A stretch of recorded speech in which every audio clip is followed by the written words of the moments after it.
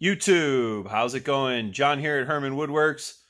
It is, well, it's actually Christmas. It's like 2 in the morning and just got done wrapping some presents, but wanted to do uh, wanted to do a video on opening up the heater I got.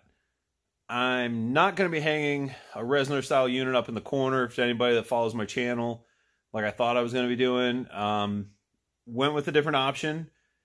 Um, Mr. Heater propane 30,000 BTU radiant heater. Um, all the research I ended up doing, it'll be plenty for my shop. It's not like I'm trying to make it a sauna in here.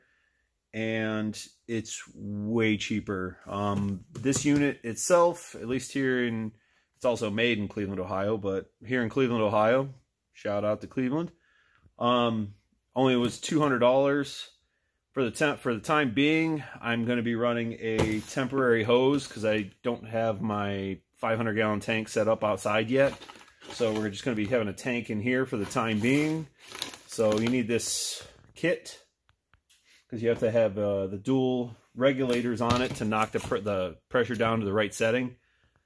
And also, it was $40. this hose was, I think, like about $35. and I got the blower kit just to help push it around the space here. So yeah, let's get to open this. All right, as always, cut the tape straight edge. That way if you gotta take it back, doesn't look like you opened it with a table saw or something. All right, so we'll save the blower kit and all that stuff for later. Let's get into this.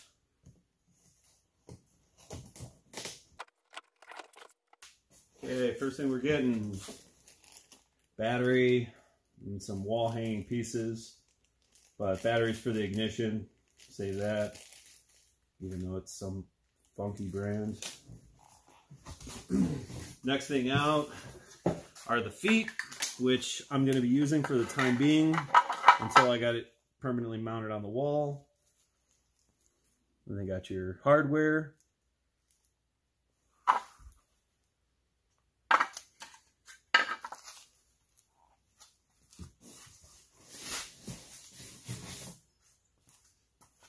This is going to be your bracket for mounting it on the wall. This will go flush. These stick out.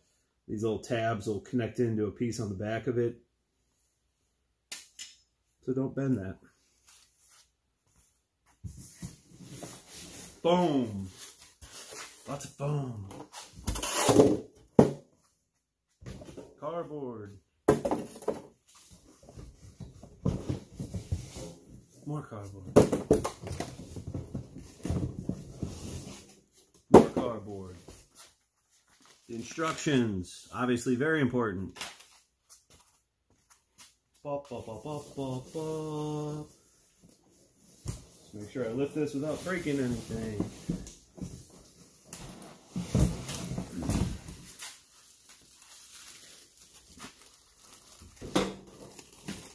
Voila, voila, voila, voila. Yeah, something like that.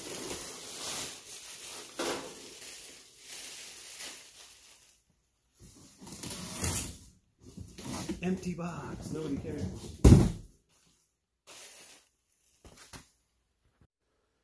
All right. So here we are.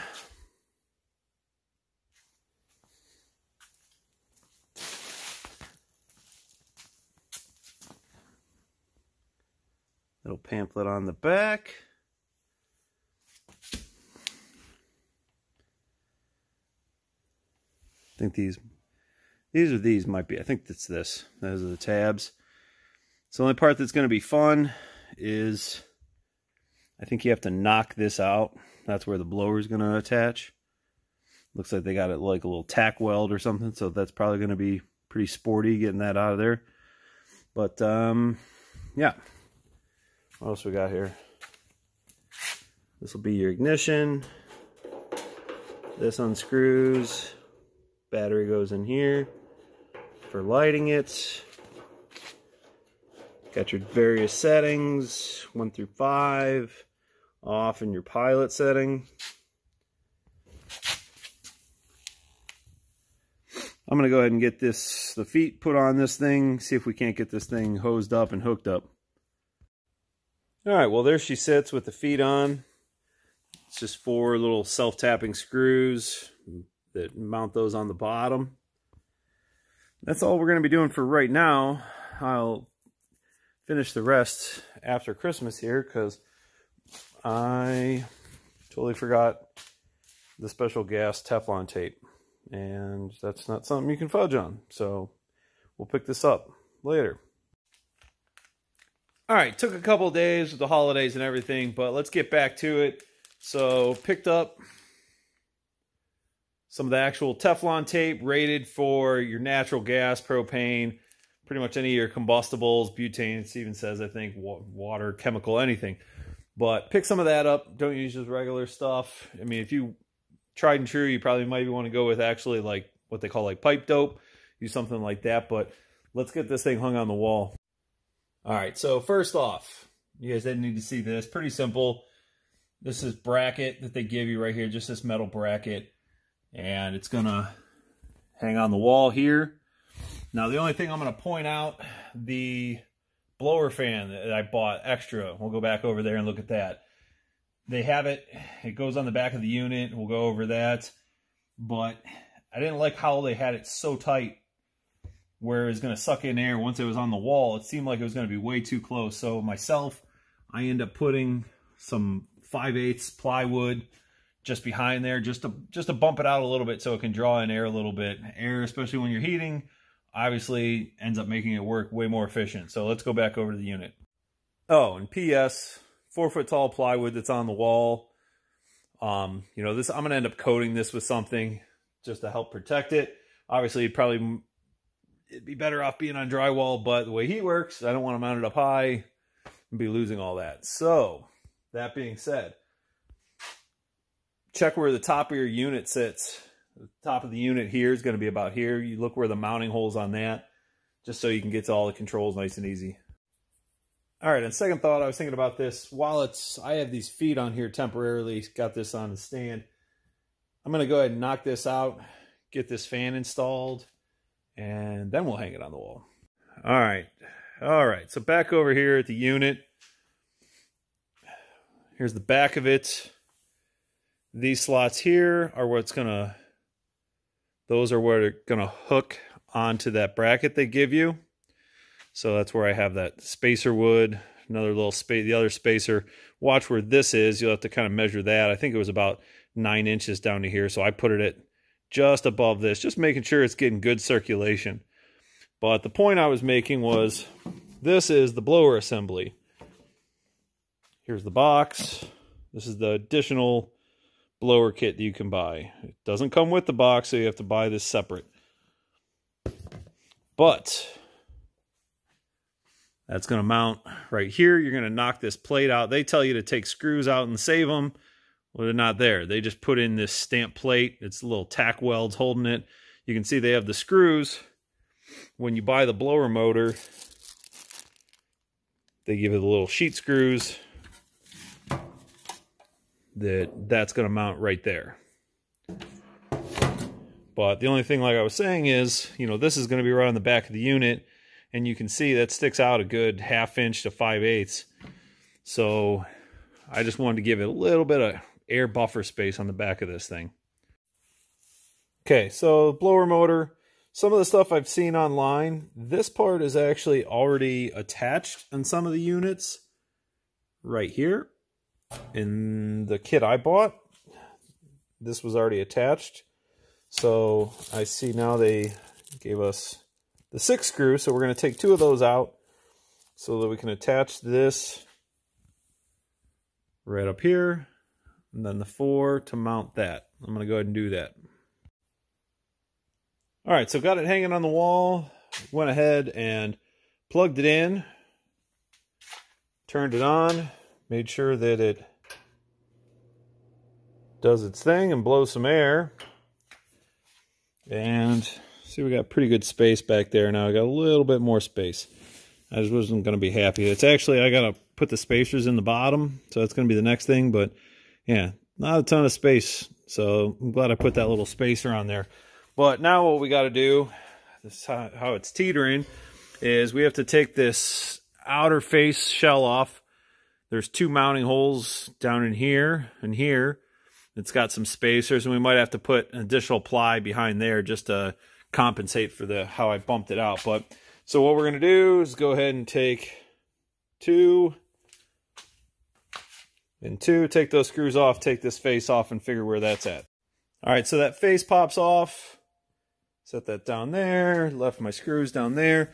So the holes we're looking for are this hole here, and I'm under there, this hole here,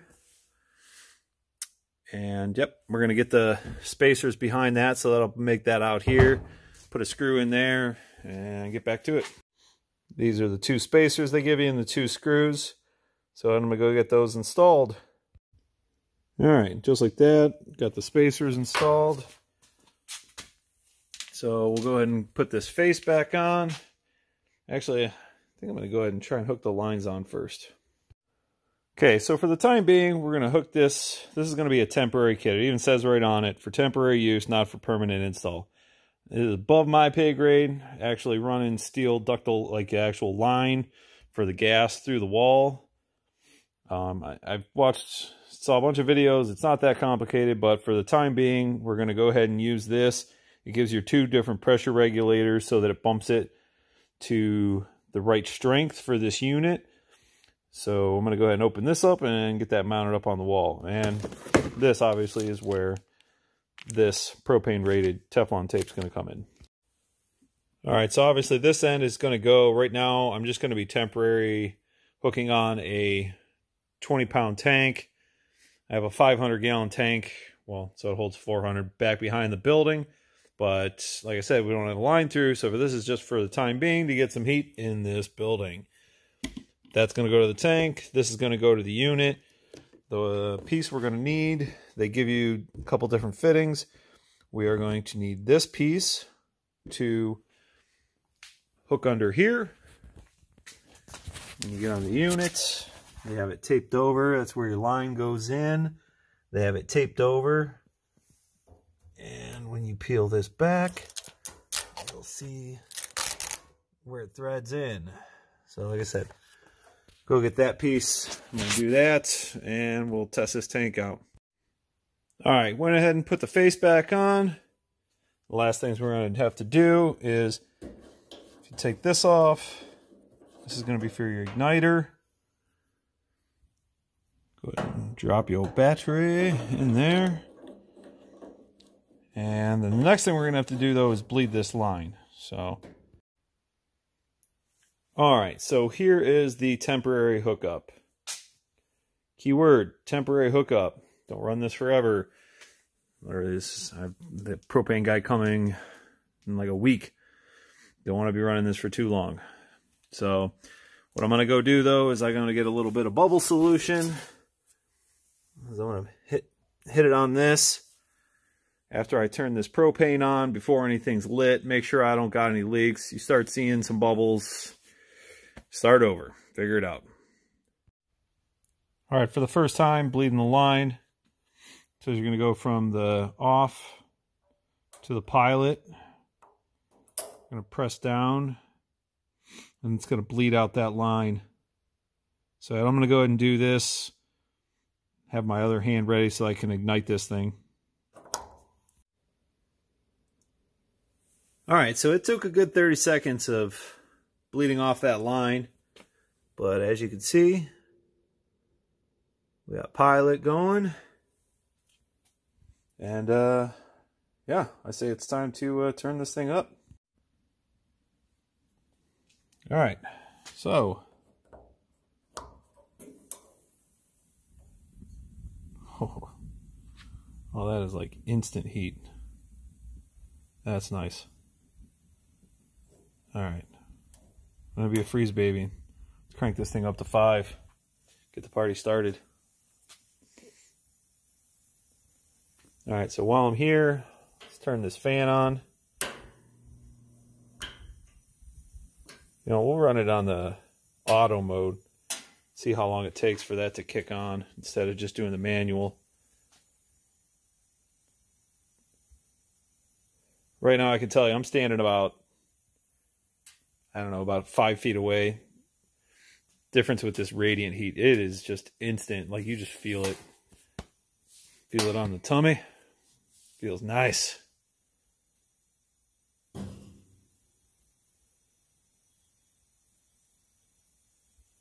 All right, so I'm going to kick this off for a minute. I'm going to let this thing heat up for a little for a couple minutes and check back with you.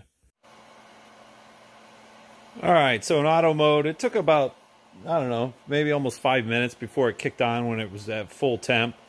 But um, right now I got it running in manual mode just to keep going. It really pushes some hot air around. Um, you know, even moving your hand from on this side like the vent or the fan is right here.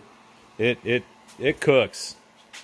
But overall, yeah, standing a little bit away from this thing, it it's putting out the heat. This thing is going to be great for the shop. Um, like I said, I can't wait to actually get it hard lined into the tank behind the building. But uh, yeah, Mr. Heater, this is a 30 30,000 BTU unit. Like I said, this propane, super pumped. Um, you know, box it's it's made in China, but they're a Cleveland company. Cleveland represent. Gotta love it. We'll see how it goes after. We'll see how this how how I rate it in a week or two. But for right now, from where I'm standing here, even walking around the shop, it's already making a big difference. So yes.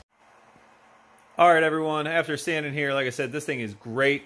Super pumped to have this going in the shop. Um, like right now, it's about 18 degrees outside. This is going to help out production big time. It's nice to be able to feel your fingers out in the shop. But anyways, YouTube, thanks for watching. If you guys are new to the channel, please subscribe, and I will talk to everyone again soon.